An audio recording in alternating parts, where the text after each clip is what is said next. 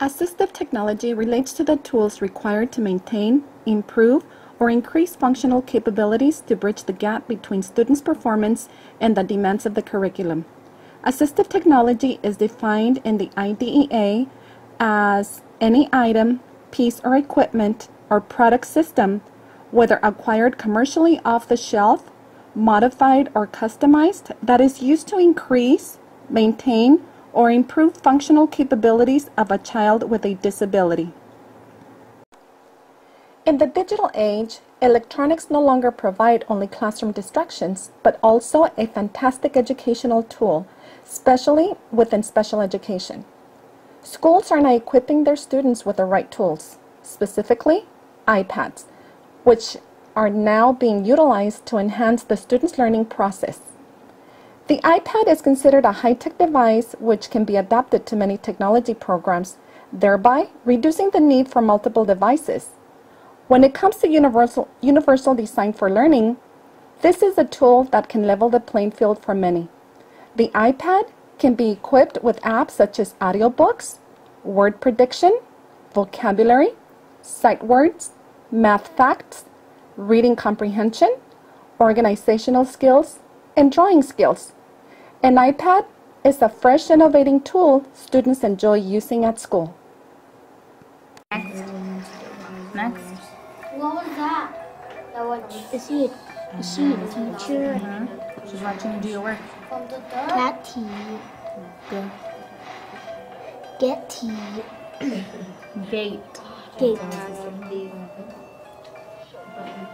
Sappy. No, you don't say the E. You got say the A. Shape. Shape. Cup. Cup. Cup. Key. Cup. Key. Cat. Cat. Key. Cup. What does that one say? Great job. Cup. Uh, Up. Cake. Cake. Cupcake. This one. And what does that one say? Want to see this one? Pancake. Good job. Blackie. No. Black. Flake. Blake. You don't pronounce the E at the end. Computer-based instruction supports learning activities in the classroom. Software that gives immediate positive feedback can provide motivation and focus for students with learning disabilities. Special software can enable students with developmental disabilities to compensate for motor disturbances, organize behavior, and communicate with a minimum of stress, fatigue, and misunderstanding. Talking software can help a child hear the words and see them on the monitor while reading. Special software can also help a child with attention deficit disorder to reduce the effect of external stimuli, increasing his or her disability to focus on classwork.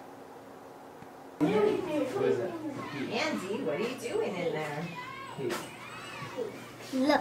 Look. Look. Look. Look. Look. Look.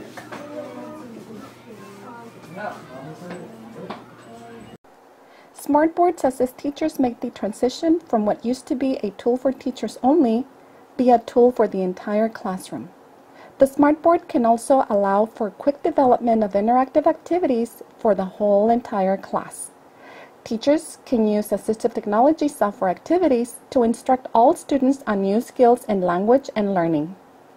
Assistive technology applications can also be integrated with iPad applications to support students with disabilities.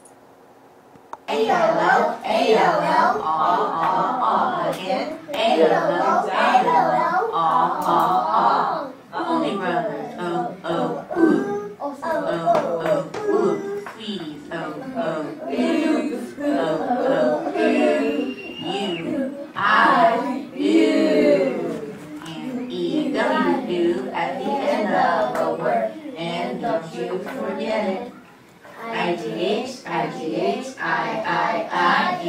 Don't forget the T.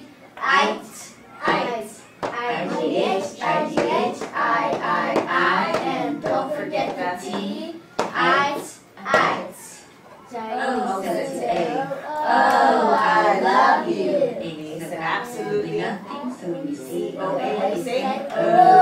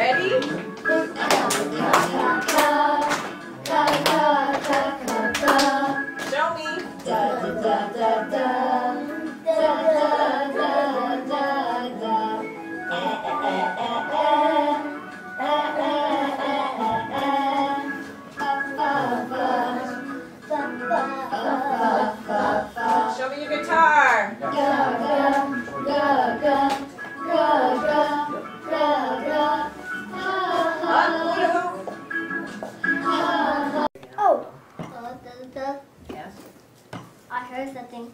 you did? Yeah. Oh no, I don't know what you heard.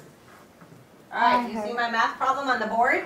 Mm-hmm. Write it to three plus two on your iPads. Put the dots and then show me what the answer is. When you have it, chin it. And I want to hear you say chin it. Five. Five. I Chin don't it. want it. Nope. I want to see it chin it. I want you to show me when we chin it. Show me when you chin it. Put it to your chin, Abby. One, two, three. Chin it. Chin me your whiteboards. Can I Show tell me? Nope. You have Chin to do it. this. Chin it. Let me see it. Okay, so I use these uh, telephone walkie-talkies uh, to teach conversation and phone skills with my severely handicapped students. And what I'll do is I will go um, within 100 feet away with one phone and have the other phone with the student. And you just pick up your receiver. If you press any button, um, the other phone will ring. Sorry. And then the student answers the phone, and we work on how to answer the phone and how to answer questions and keep the conversation going. And it's a really good tool to use. Okay, so another tool that I use um, along with these phones with students with autism um, or other um, handicaps or disabilities is the iPad. And I use the Proloquo 2 uh, to go as a communication device. And um, what I like about it is you can set this up um, specifically for any user. You can, I have a list of different students uh, that I use it for, and you can personalize it for each student. And when that student comes to see me for speech, um, they'll have their own um, screen setup. So, for example, um, I'm working on pronouns with one student, so this is a page that he has. So for another student, we might have it a little bit more complex where I want. and then he can go into his files and pick whatever he wants I want banana. and use it to talk and um, express his needs.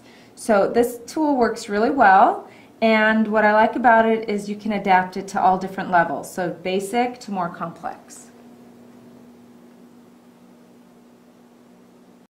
Okay, so this augmentative device is called the GoTalk 9 Plus. Um, GoTalk is the company, they make it in simpler versions. There's a GoTalk 4 with- only four pictures, and it goes all the way up to 32 pictures. And what we're able to do is program, um, on this one, nine pictures at a time. Uh, the three on top will always stay the same. The nine on the bottom we can change, and there are five different levels. So for each period, I can make specific nine pictures to go for that period, and we just change the level and insert those pictures for that period. So actually, we're able to put up to 45 pictures on this device. Um, and this is portable, um, pretty resilient to falls, and it's just an easier, simpler version of augmentative communication for kids with communication difficulties and autism. Pero sus, sus exámenes de ellos son diferentes. There you go.